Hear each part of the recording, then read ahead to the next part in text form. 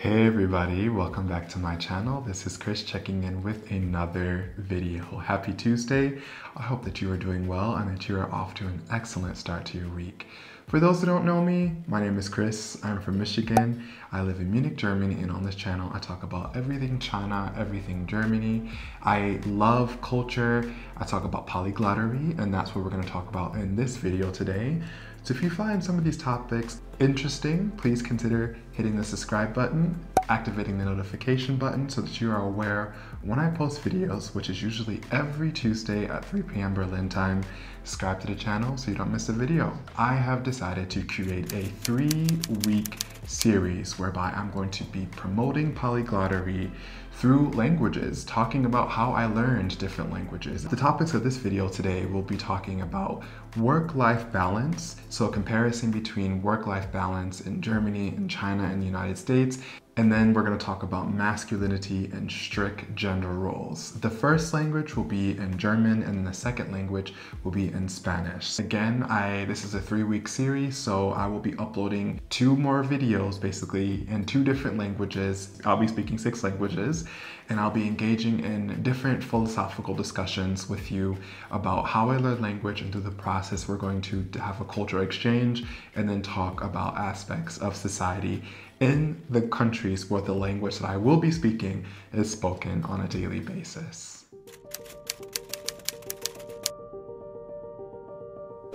Grüß dich, wie geht's euch? Ich hoffe, es geht euch gut und jetzt werden wir mit Deutsch anfangen.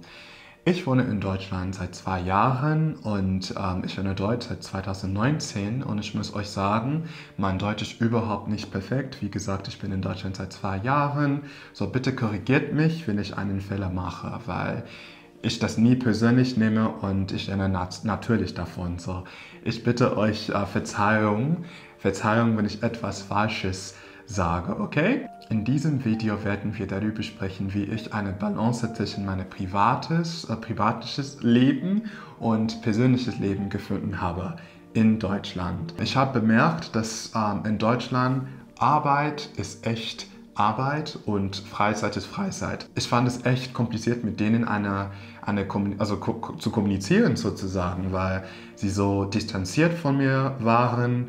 In Amerika oder in China, man würde sagen, dass man eine engere Beziehung mit den Kollegen hat, aber hier trotzdem, das ist äh, total unterschiedlich in meiner Meinung.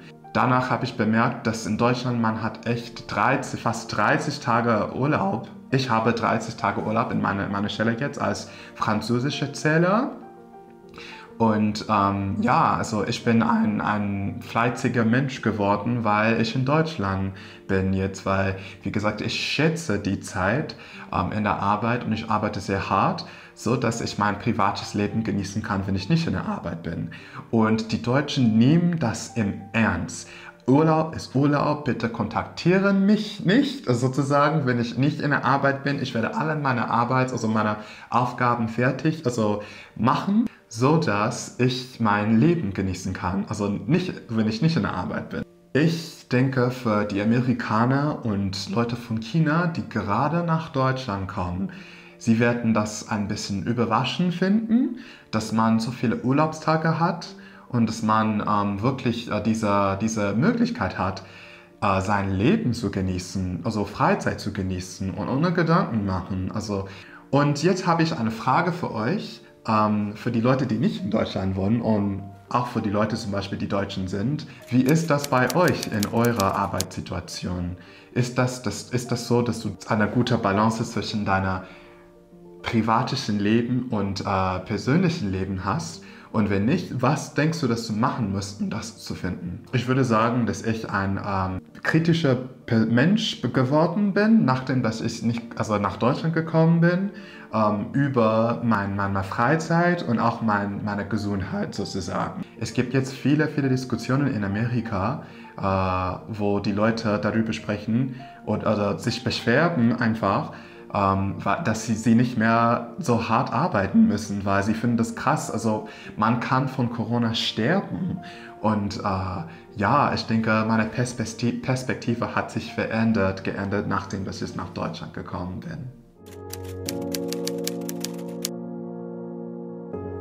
tal todo el mundo? ¿Cómo están ustedes? Espero que estén bien. Ahorita les voy a hablar un poco en español. hace mucho que no hablo español porque lo que pasa es que aquí estoy en Alemania y no tengo muchos amigos latinos acá, así que me estoy concentrando demasiado en mi aprendizaje del, del alemán, así que no tengo mucho tiempo y muchas oportunidades de aprender a hablar el español.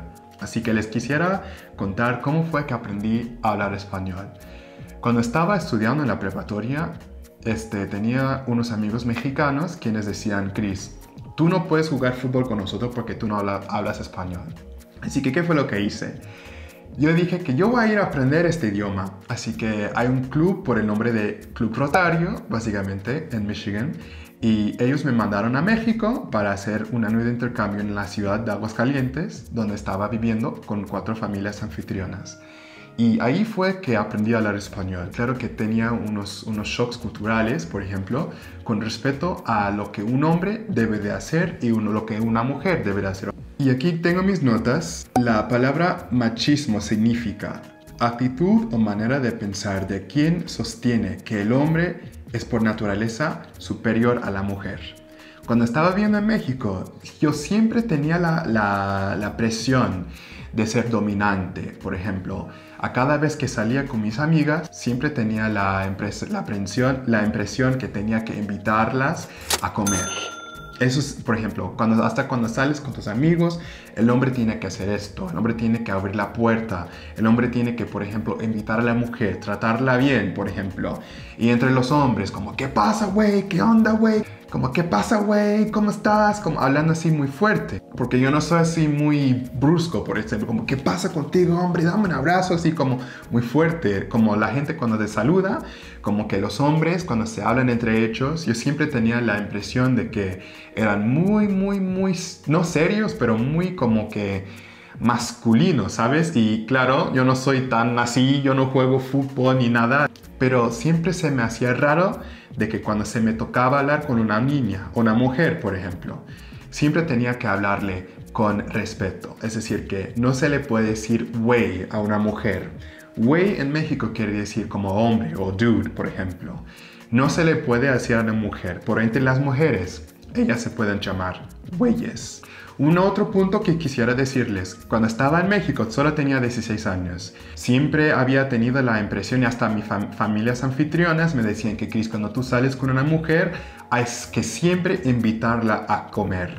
No deberías de dejar que ella pague su, su cuenta. Hay que siempre pagar porque tú eres el hombre. Hay que ser caballero con las mujeres. Que no vivimos en una época donde se, trata donde se trata de la igualdad entre los sexos, porque yo siempre, siempre tengo que ser el que invita a la mujer. Porque la mujer no me puede invitar a mí, porque yo también soy estudiante y yo, yo se siente bien, ¿verdad? Que la gente se cuide de ti, ¿verdad? Cuando salíamos a comer y no quería invitarlas a comer, estaban enojadas conmigo o, por ejemplo, se ponían un poco incómodas, como, Chris, ¿qué haces? O sea, qué, mala educación o también pasaba cuando estaba en, por ejemplo, en unos bares. Los hombres son los que pagan las, bebidas para las mujeres.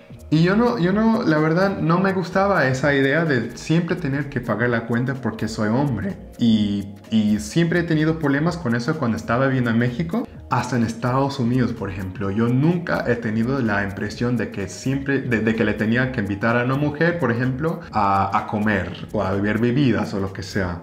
Cuando fui a China también era así. Y cuando vine a Europa es más así, porque los hombres, de lo que me han dicho mis amigas latinas, que los hombres son muy, muy codos, lo que decimos en México, que significa muy tacaños. Que los hombres básicamente quieren dividir todo aquí en Alemania. Que hay mucha igualdad entre los sexos. Los hombres no tienen que pagarles la cuenta, las cuentas a las mujeres. Cada quien paga por su cuenta. Hace seis años que no estoy en México, claro, yo creo que muchas cosas han, cambiado, pero eso sí había sido la primera vez que había encontrado este shock cultural con respecto a las diferencias entre los sexos que el hombre era más dominante en México y que la mujer era más sumisa. Y después de lo que he visto, por ejemplo, en, las redes sociales, ahora se trata del, del movimiento Me Too, hay más movimientos tratando de promover um, la igualdad entre los sexos. Y ahora viene la pregunta que quisiera preguntarles. ¿Cuáles son las normas de género en, sus países y en sus culturas. ¿Están de acuerdo con ellas o quieren que cambien? ¿Y qué opinan ustedes? ¿Están de acuerdo con el movimiento Me Too? ¿Crees que, ¿Creen ustedes que hay muchas cosas que están cambiando con respecto a estos rollos tradicionales en nuestras sociedades? ¿O están de acuerdo con ellas y creen que las deberemos de preservar? Díganme aquí abajo en, en el chat box. Muchas gracias. Alright guys, so that is the first video basically um, of me speaking two of the languages of the six that I know, which is Spanish and German. Uh, I want to start with Spanish, German first because I do live in Germany, so I'm being respectful to my host country by putting it first. so let me guys know, let me know what you guys think about in the comment section below. I did ask two questions the first question was how do you personally feel about work-life balance in your society, in your culture, and in your country? And if you don't have this balance between work and life, what steps do you think that the government should take to ensure that people have more work-life balance in your culture, society, and your place of work? The second question that I asked in Spanish is, what do you think about gender roles and, and gender norms in society? Are you, do you agree with them or do you disagree with them? Do you think that we should preserve some gender norms or do you believe that we should get rid of them entirely? Thank you, thank you guys so much for watching this video. I hope you liked it. Um, as I said, this is part one of a three-part series. Comment in the comment section below. And for those that are new on this channel, if I find one of the comments that you leave in the comment section below, I very well may take it and turn it into a topic of my video. And you do not have to agree with me. I love it when people disagree with me. It helps me think and it helps me grow, and I grow from all perspectives. So please don't be shy and let me know what your opinion is down below. Have a wonderful evening, and I'll speak to you soon. Cheers! Adios!